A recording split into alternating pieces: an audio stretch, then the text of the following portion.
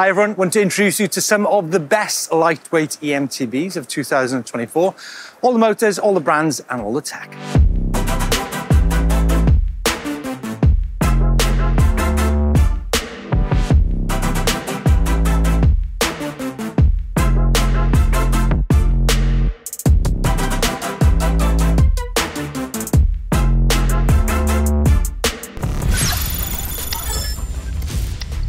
Okay, first up, let's have uh, some kind of definition of what exactly is lightweight. Could it be a bike such as Dangerholm's Scott Lumen E-Ride at 12.9 kilos? Well, at the same time, there's full power e-bikes like the Storck with 112 newton meters that come in at under 20. Yeah. Well, folks, let's get our whistle stop tour rolling. Okay, obviously we need to have some kind of benchmark here, and I think Dangerholm's bike is exceptional. Uh, 12.9 kilos. Remember, his bike is a full custom build with that TQ motor. But then again, it is pretty exquisite.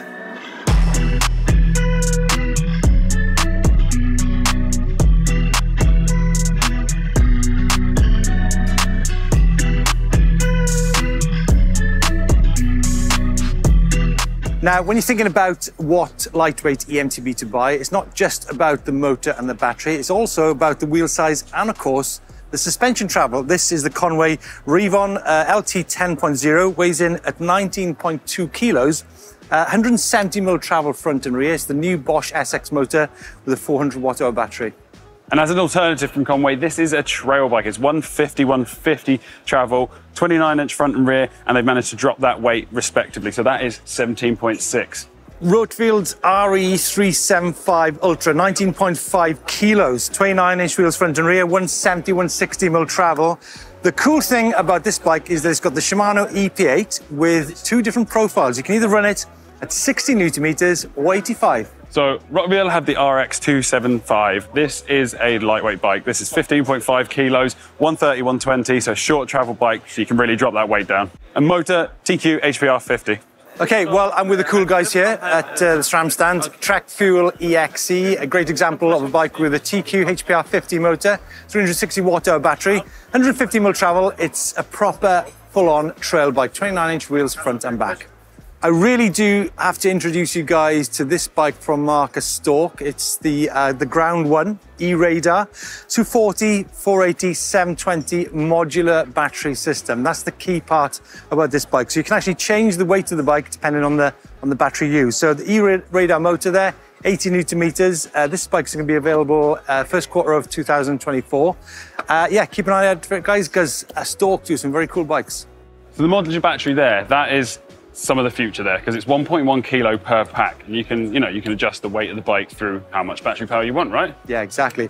Remember folks there's some bikes uh, which we can't feature here in eurobike because they're not here such as the Forestal with the bafang motor and oh the giant Trance advance the uh, it's fully adjustable. You can adjust the torque on the motor anywhere from 20 newton meters up. So that's full powers under 19 kilos? Exactly. That's a consideration you guys need to think. Do you actually need uh, a full power bike which you can adjust? So Nicolai Saturn 14 Swift is probably one of my favorite examples of the Bosch SX motor. It's an aluminium frame, 150 travel front, 130 travel rear, 29 inch front and rear wheels. It's a beautiful system there. It looks super clean, but it also comes in a few different configurations. So varying travel, 140, 130, and even all the way down to 120 and 106. So great options, loads of different configurations to see the Bosch SX motor on. Coming in 2024 is the Thok Project 4. Uh, what's great about this bike, again, it's the modular setup.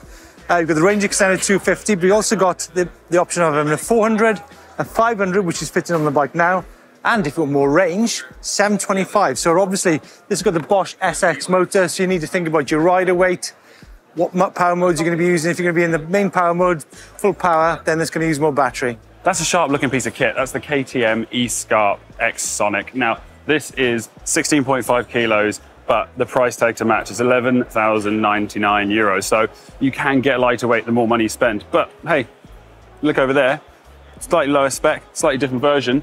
That is 4,000 euros cheaper, and hey, it's 18.5 kilos. So, you know, price tag has got to come into it. Prototype, but hopefully available uh, early 2024.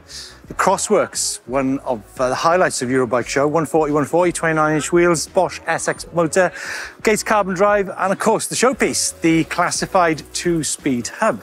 400 watt hours in the down tube. Dilbert Rise, one of the pioneers of lightweight e-mountain bikes. This has got the Shimano EP8 01 RS. Now, that motor is the Shimano motor, but able to be reduced newton meters. The first bike that we saw with it. So 60 newton meters paired with a 360 watt hour battery, 29 inch reel, front and rear with 140, 140. The interesting thing about this is that Orbea have the Myo system, so you can customize your Orbea however you want, down to a T. M1 World Cup 400 SXP. That's if you want something insanely special and boutique. It does come at a price, 15,000 euros, but you've got a bike there which has got the Bosch SX motor and 170 mm travel front and rear. Probably one of the highlights of the show. Or alternatively, the CC version at almost a third of the price, but again, the same motor and battery in this bike. It's hot up in here. We have the Simplon Rapcon P-Max TQ, or you can choose the Bosch SX motor. So for this version, it's 360 watt hour battery here, 150, 150. But on the customization on the website, choosing the motor, you can also go 170, 170. Now that's 17.6 kilos. I think it's great. Ah, come on, Bulls, what are you doing? 5999 for a bike which is proper stunning. Features the Bosch SX motor, 140mm travel, and uh, nothing more to say, really, is there? Now, what I'm thinking with the Bosch system on these lightweight bikes is they do a range extender with 250 watt hours, but I think you could, you could probably just get a spare 400 watt hour battery because it is so small. Stick that in your backpack.